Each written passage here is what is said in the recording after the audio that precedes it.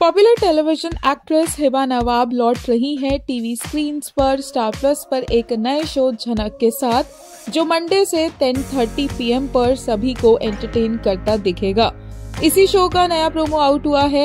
हिबा इसमें झनक का किरदार निभा रही है, वहीं कृषाल आहूजा अनिरुद्ध का किरदार प्ले कर रहे हैं। कहानी जिसका हिंट लगा है अभी तक प्रोमो से वो ऐसी है कि झनक अनिरुद्ध के घर में काम करती है और अनिरुद्ध ऑलरेडी किसी और से मैरिड है। अनिरुद्ध अपनी वाइफ से बहुत प्यार करता है और उसके लिए दिवाली गिफ्ट लाता है, लेकिन वो गिफ्ट किसी तरह से झनक तक पहुँच जाता है। और अनिरुद्ध को लगता है कि झनक ही उसकी वाइफ है और वो उसे हक कर लेता है।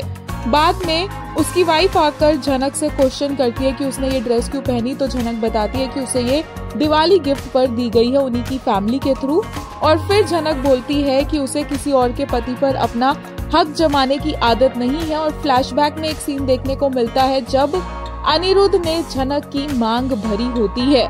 मतलब कि ये एक और लव ट्रायंगल है, जहाँ पर अनिरुद्ध ऑलरेडी किसी और से मैरिड है, लेकिन झनक की भी अनिरुद्ध से एक तरह से शादी हो रखी है, लेकिन इस रिश्ते को कोई नहीं मानता है including both of them fans ने जैसे ही ये प्रोमो देखा, उन्हें सबसे पहले याद आया इमली सीज़न वन और हर कोई यही क्वेश्चन करता नज़र आया कि क्या स्टार प्लस के पास कहानियों की कोई कमी हो गई है, जो हर कहानी को रिपीट किया जा रहा है। पहले से ही शौर्य और अनोखी की कहानी को रिपीट किया जा रहा है, गुम है किसी के प्यार में में। और अब ये शो आया है और झनक की स्टोरी भी काफ़ी हद तक इमली से रिलेटेड लग रही है।